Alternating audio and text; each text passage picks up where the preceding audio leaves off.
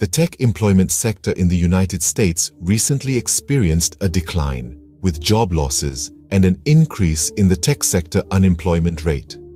Tech salaries also decreased, reaching a five-year low.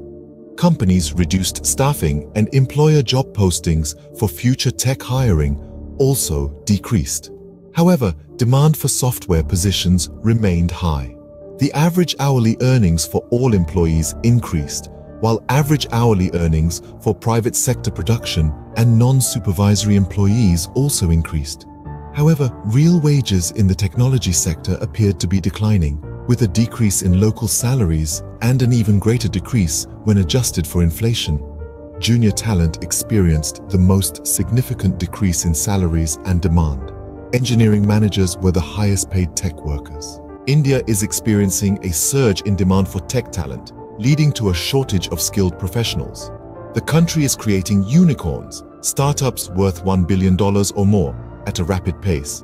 The tech boom has led to increased competition for IT engineering talent, with companies offering enticing perks to attract employees. Established Indian companies are digitizing their businesses, adding to the hiring pressure.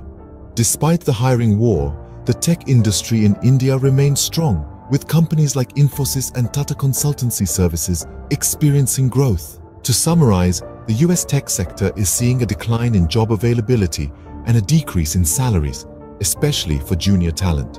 On the other hand, India's tech sector is booming, creating a high demand for skilled professionals.